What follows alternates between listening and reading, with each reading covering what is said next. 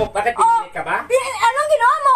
Pilit ka ba? Nag-master ka kahit Oh. hawak ko yung bata. At Oh. least, mas ako. Kahit natalsikan yung bata. Talsikin bata. Asan yung Masyado utak mo doon? Masyadong babaw ng dahilan. Masyadong mababaw. Anong Huwag mababaw mong doon? dahilan sa akin yan.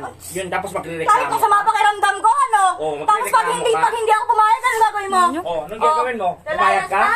Oh, bakit? Lalayas ka tapos Pinaparamdam mo sa akin ng ganun May eh. piso wala kang ano, iiwan? Dapat oh, lang. ano, Oh. dapat lang, kahit Ano? Bata, Ano oy.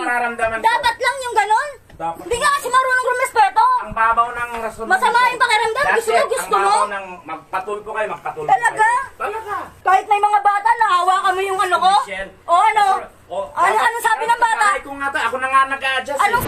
Di 20 minutes ka, di mo mawakan yung anak mo. Ahawakan mo, papakita mo lang sa camera. Ay, nako. Ah, talaga ba? Talaga ba? Kaya nga ang kaibigan mo mismo nagsasabi, ginagamit mo yung bata eh. na po magpapadidi para po hindi po si baby. Pengin na lang ako masahe makalis na kami. Para wala tayong pagtalunan. Huwag galit ka. Huwag ka naman galit. Para